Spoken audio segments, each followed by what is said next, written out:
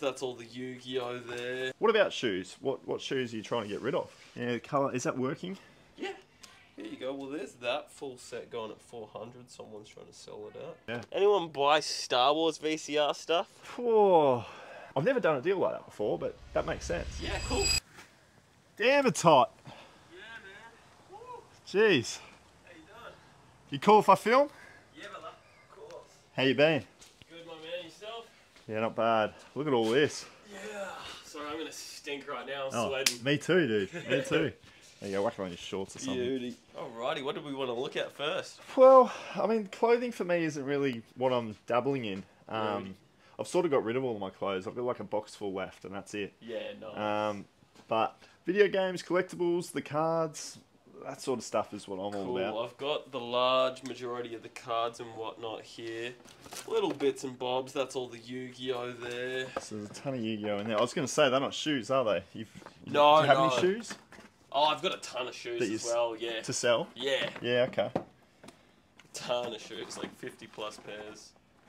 These are all the yeah. We'd have to go through all of these, wouldn't we, to work out what's what? Yeah, there's a bunch of first edition stuff. Not that that necessarily means anything, No, but a ton of it is first edition. it might just be bundles or something that we look at Yeah, from a sell perspective. Like if I'm putting it on eBay, I'd probably just bundle it up. yeah. There's a few different decks and whatnot in there that you could sell off as this deck, that deck, blah blah blah. Yeah, bit of a mix mash. Yeah, and then yeah, you just got All the Pokemon.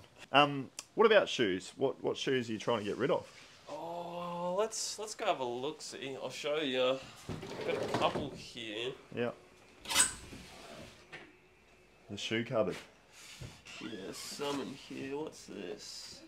And do you have the date that you're back, Uh, yeah. Back, or is it a one-way ticket? Um, no, back in February, early February. Early Feb. Yeah, nice. That cool. Yeah, some burgundy Docs. You hardly wore them. Nah, never worn them. They're in great condition. Yeah, I literally bought them to resell and just didn't resell them. Yeah, right. Actually, I'll take you around if you want to see them. Yeah, yeah. A bunch of them have been quite heavily worn, so they wouldn't want to.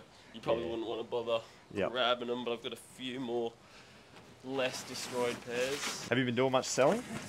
You Uh, clearing clearing much out? I think last time we spoke, you were going to try and move some stuff yourself. Yeah, I did a few more runs, and just I don't know what happened. It's like I killed it the first couple of times, Yep. and then I Oh, was down at the markets. Yeah, and then I just struggled and struggled. Yeah, right. Just had some bad weeks. Yeah, gotcha. So I got these guys here. Yeah, okay. And are, are they genuine as well? Yeah, yeah, everything's real. Yeah, nice. Not one for off-brand shoes. No. Yeah, that's sweet. I don't know. Those Yeah. I've worn a bit. Yeah, that can be alright though. Yeah, a little bit of wear on the soles though, isn't there? Yeah. Good shoes though. These guys. Nike Some Tour. kids TNs, bruh. Oh, the TNs. wow, man. Yeah. They are popular though, aren't they? The They are, they are. I actually quite like them as a shoe. There's a bit of stigma here in Australia, obviously, but I I quite know. like the build of them. Hundred percent. They're good too. The nineties. Yeah. Yeah, I got all of these. Ton of I need to clean these dudes up. I love these. The Oh, I haven't seen them before. Oh, the pumps. Yeah, these are old school. Insta pump. Yeah, wow. I They're a collector shoe, surely. The pumps. yeah, I think so. They're ones that I need to clean up and wear again. Yeah.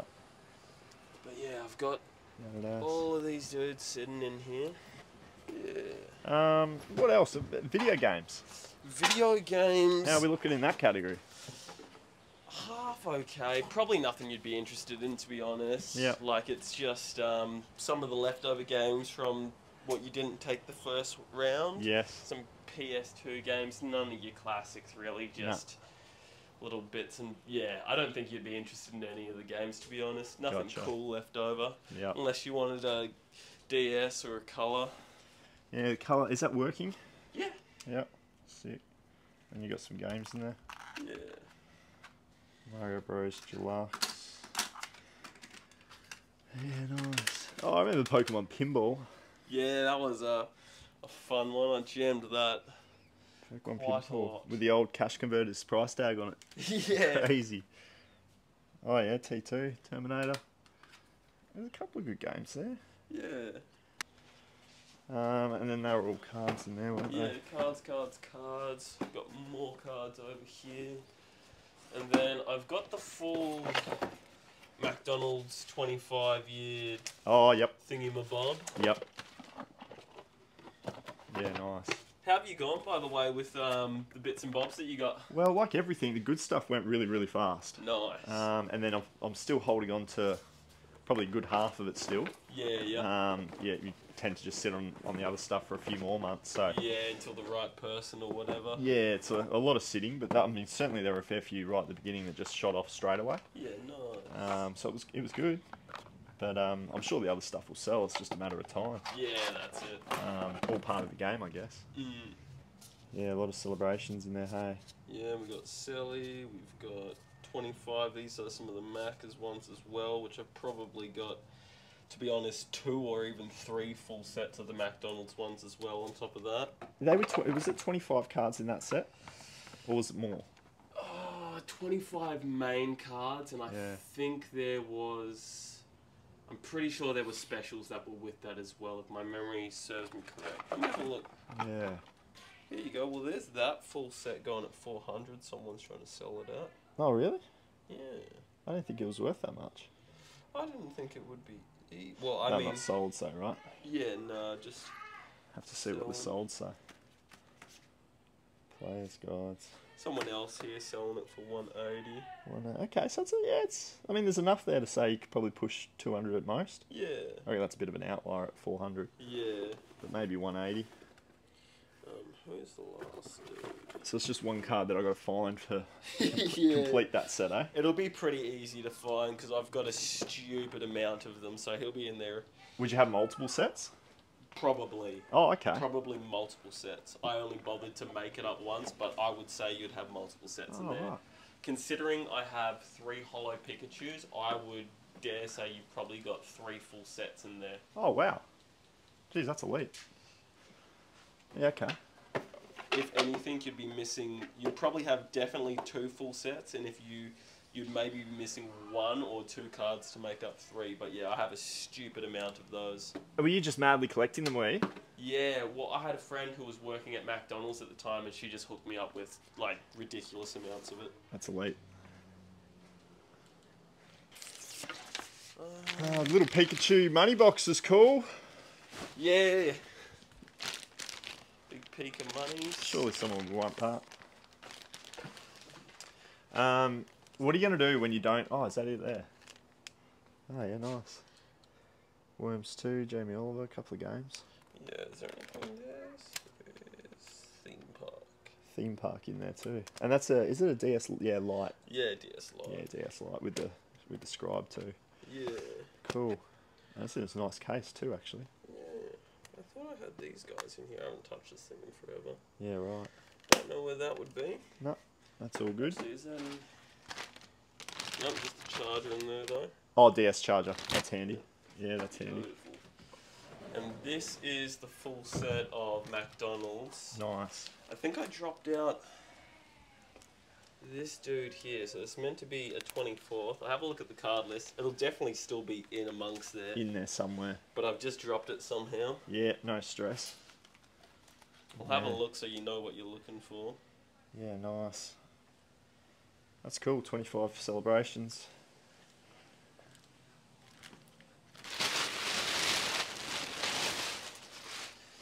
Just asked about hats, and apparently we've got a, a few to look at. But let me see. Carlton number. I've got a big bag of hats somewhere. This dude's kind of cool. 1985 Mario cap. That is cool. Yeah, love that. Very cool. Put that one over there.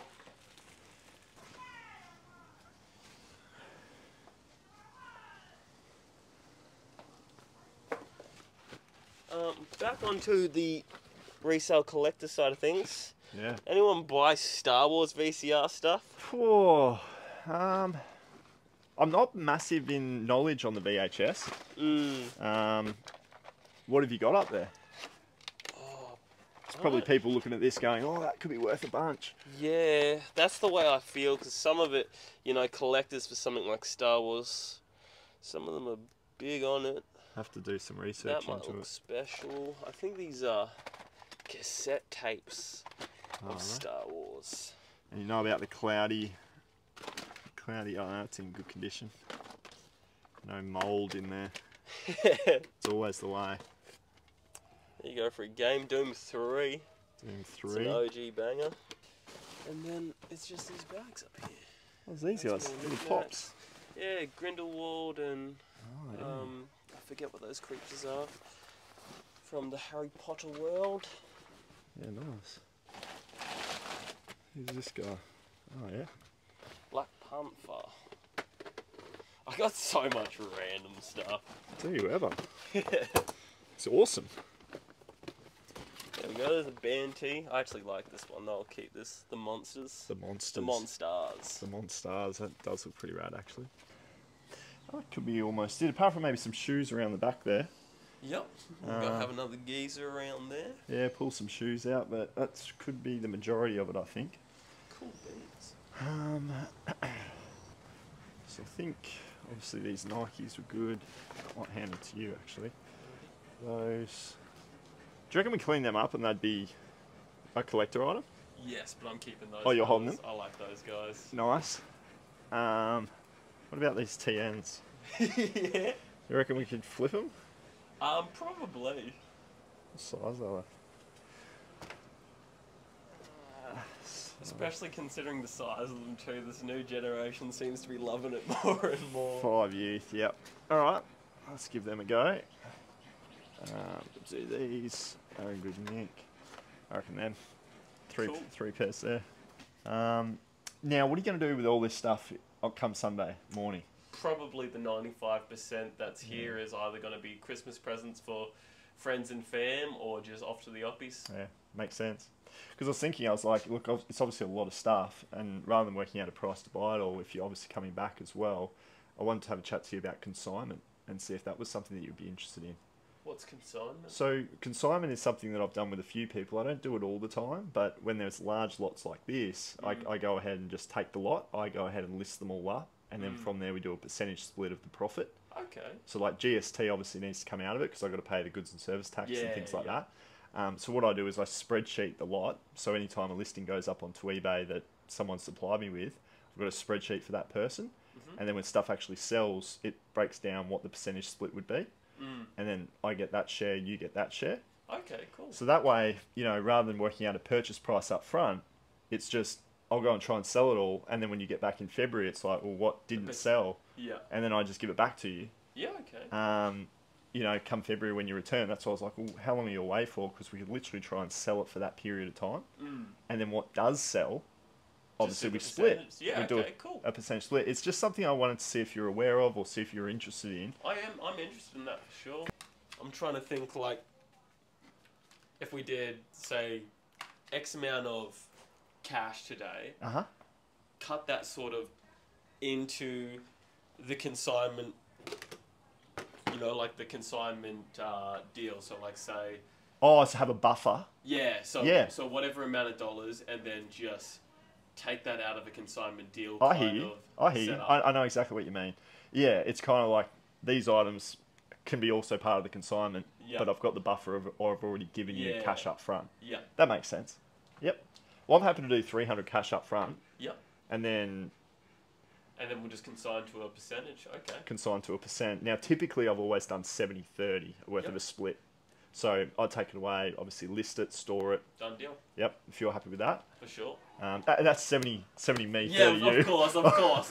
No, I wasn't expecting seventy percent for you to do all the work, I'm- sell it, and then yeah, I'll take my Yeah, thirty. I probably should have stipulated Yeah, that too. But um, 70 ya. 30, it's, it's, uh, I've always found that everyone's always been happy when I've done it that way. Yeah, Um, but yeah, 300 cash up front as a buffer, yeah, and then we'll. I've never done a deal like that before, but that makes sense. yeah. Cool. All right. Bit of a unique deal, that one there, guys. Um,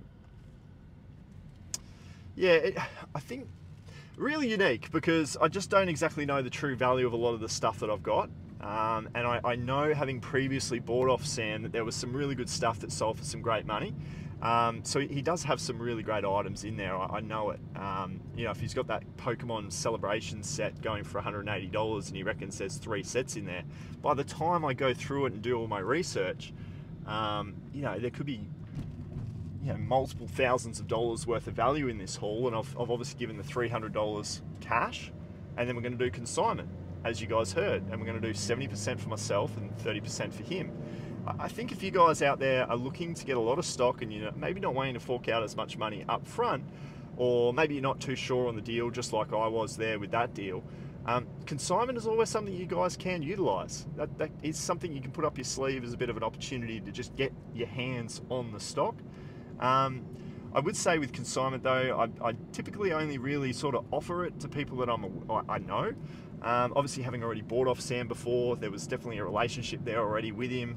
Um, you know, he's a, he's a he's a really genuinely good guy that I, I, know that I can trust, and I think he's got the same sense for me as well. It, does go vice versa. So when you put on the um, the consignment play, um, you know, they're generally more receptive to it, and they kind of like the fact in, in Sam's predicament that he was going away for an international trip for a few months. He was waiting to get his hands on some cash. And if I just went in there and I gave him $300 and just bought a couple of items, you know, he's going to miss out on me being able to send him a check for some form of, of an amount, you know, in a couple of weeks' time when we start to sell a bit more of his stuff. So, I don't know. I'd be very curious to get your opinion in the comments. If you've been watching this channel for any length of time, you'll know that I don't really ever do consignment deals. You know, it's, it's rare, certainly a private pick, so I'm always just going in there and just trying to pay up. But now having a bit, little bit of a buffer there for $300 and a bit more stock, I feel like it was a pretty good deal. But I'd love to know your thoughts, and you probably need a bit more of an intel into what I've got, right? You know exactly. I mean, I put the camera over everything, but you probably don't exactly know what I've got my hands on to make an accurate judgment. Um, so I might actually just take you back home now and um, just go through some of the stuff and get an estimation of how much it's going to be worth. I think the easiest way to do it would be to work out how much is going to be my $300 money back and then how much stock I've got left over, which is going to be a consignment play. See how we go. All right, so just been madly researching madly researching and sifting through what is ultimately actually hundreds of items in this haul and I wanted to take you through the 15 listings that I've already gone and put up onto eBay. There's obviously a lot more listings to go um, but I've put 15 up. I always want to get my big hauls just like to go through my favourite stuff and list up my favourite stuff first. Um, there's obviously a lot of work to go into the Yu-Gi-Oh cards but I've got some Unreal cards to take you through at the end of this little haul run. Uh, and then there's a bunch of Pokemon cards as well that I haven't even been able to look at. Um, so this is by all means just the tip of the iceberg.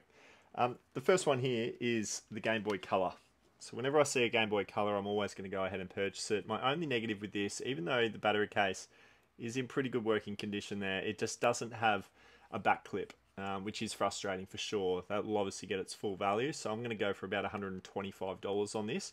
This was selling for about $135 from what I was seeing on eBay. So I'm going to go 125 uh, because the back clip was missing.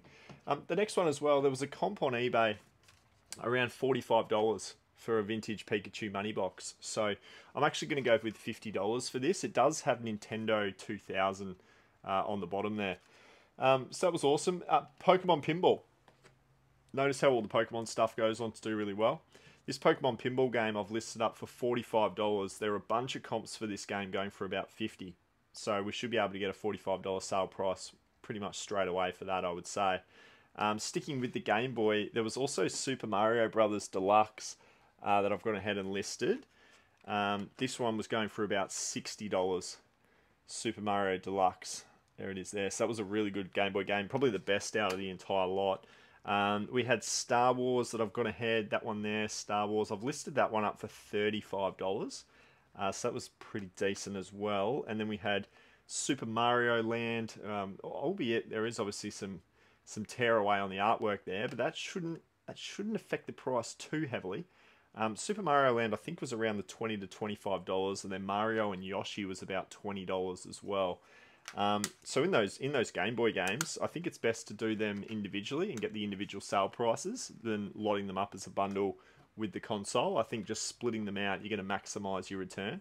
Um, so there's some really good uh, results in all of the Game Boy stuff. Um, well over a few hundred dollars worth of value there. Um, the Pikachu, obviously 50 bucks as I touched on. Uh, and then we went into some of the Pokemon cards. Now, there are thousands, literally thousands of Pokemon cards. There was unfortunately a really damaged Wigglytuff here. Um, this was a, a vintage um, jungle set card, um, holo Wigglytuff, and it's number 16 of 64. I think it's like a $75 card if it was in great condition. Um, but this one, as you can see there, it's all it's all beaten up. It's yeah, it's in terrible condition. So, you know, whether or not there's any value left in that, we will wait to see. Um, but the ones that I have gone ahead and listed, uh, there were some great ones in this little mix of all different years. So I'm constantly learning about my Pokemon cards. Um, but there were some great ones uh, across all different years, all different, all different sets. Um, the one that I wanted to show you first was the light Wigglytuff. Now, when I was going through, I was looking for these, which is little first edition um, first editions there on the card. So this Wigglytuff being a first edition Neo Destiny, um, I can tell by the number code down in the bottom um, right hand corner of the card. This is card number 54 of 105. Um, just down the bottom there, it gives you away uh, the number for anyone that's new to Pokemon cards. But being a first edition with that little dot, um, this card here, even though it's a basic card, um, goes on to sell for $30. And it is in very good condition as well. Um, so we've got a light Wigglytuff, um, just sitting in this mix of a thousand cards that I was able to pull out. I continued to have a look at the Neo Destiny, um, and rather than that light Wigglytuff going into this bundle, all of these cards are actually first editions as well. So if I take you through some of them, um, we've got a Growlithe. I actually won't do that. I'll just I'll just hold them all up for you. But there you can see there bunch of different Pokemon, uh, Neo Destiny, all of them with the little first edition. Um, so those I've done as a bundle for sixty dollars. So I've done six cards for sixty dollars, and they are worth sort of ten to fifteen dollars each. Um, so I've just done one big allotment there uh, of the Neo Destinies, and then I just did the light Wigglytuff because it was thirty dollars on its own.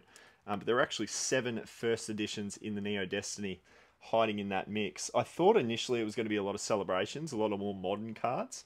Um, but there's actually a bunch of cards that actually are vintage that I haven't yet gone through. So all those cards there are all the old school vintage cards that I've been able to look out. So um, there is a bit still to sift through. They're not yet listed, um, those ones there. This one was a good one, uh, actually. No, I'll take you through a couple of other Neos. Oh, there were a few other Neo Destinies as well that I've done individually. Um, so there was an $18 and a $10 uh, sorry, an $18 and a $20 with those two there. So about $38 uh, worth of value in those. 68 when you add the light wiggly Wigglytuff. So look, Neo Destiny first editions, stoked with what I was able to find there. Uh, and then we had more cards. So we got this Pikachu V Union set of cards, which I found very interesting. It's actually a, a, a four card combination that makes one large card. I don't know if you guys are aware of that, but there it is there. The, um, the V Union set of four goes for twenty dollars, and I reckon that'll sell fairly fast considering they are in good condition as well. So that was good. Um, we've got a Trevenant.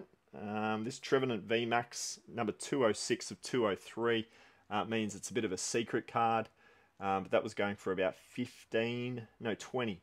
That was going for twenty dollars. Uh, so that was cool. And then yeah, we have this Machamp.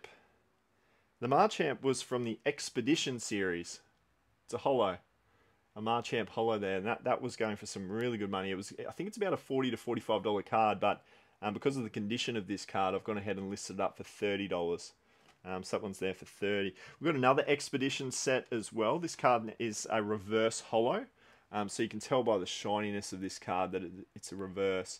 Um, so 157 out of 165. This one was going for $35, believe it or not, that one there. And it's in really good condition too, so 35 bucks on that. So as you can see, guys, I don't want to harp on this for too long. Um, oh, actually, I do want to harp on it a little bit longer because I've got a really good one there. We've got a Venusaur VMAX.